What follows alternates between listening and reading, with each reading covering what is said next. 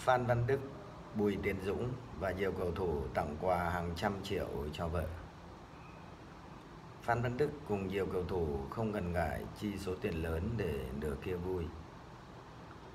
Đằng sau sự thành công của các cầu thủ bóng đá Việt Nam, không thể không nhắc đến sự ủng hộ, đồng hành của các nàng oát. Thấu hiểu những điều này vào những dịp đặc biệt, nhiều cầu thủ như Phan Văn Đức, Quang Hải, Bùi Tiến Dũng đều không ngần ngại chi số tiền lớn để tặng quà cho nóc nhà. Mới đây, cầu thủ Phan Văn Đức đã gửi lời chúc mừng sinh nhật đến vợ là Nhật Linh. Chúc mừng sinh nhật vợ, cảm ơn em đã luôn ở bên anh lúc anh khó khăn. Chúc em luôn mạnh khỏe và là chỗ dựa tinh thần cho anh và các con. Anh yêu em nhiều.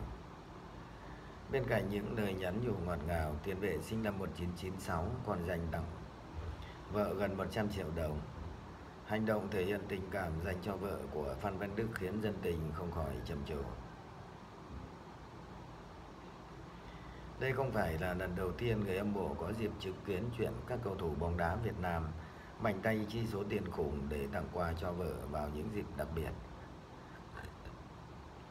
Hành động nịnh nóc nhà của các cầu thủ bằng các món quà có giá trị cao khiến dân tình không khỏi trầm trồ vì mức độ chịu chi.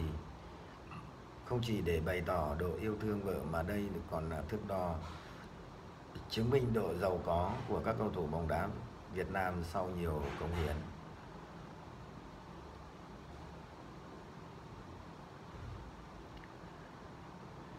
Cách đây không lâu, thủ môn Bùi Tiến Dũng đã tổ chức sinh nhật sang trọng cho bà xã Gianca Zakhidova.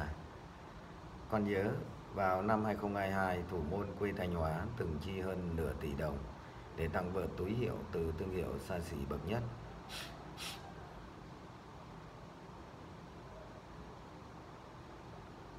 Tháng 7 vừa qua, cầu thủ Quang Hải vừa tái ký hợp đồng với câu lạc bộ Công an Hà Nội trong 3 năm với phí nó tay trị giá 27 tỷ đồng. Nhân dịp sinh nhật à, tuổi 24 Chu Thành Huyền, cầu thủ Quang Hải đã dẫn vợ đi tàu xế hộp mới đắt đỏ. Tháng 8 2024, vợ thủ môn Đặng Văn Lâm hạnh phúc đến mất ngủ khi được chồng tặng đồng hồ trị giá 500 triệu đồng. Làm Watt cho biết chưa bao giờ thích túi sách, quần áo, giày dép gì hết. Nhưng đây là lần đầu tiên nhận quà mà vui mất ngủ. I love it, tôi sẽ đeo nó tới khi nào hỏng mới tha.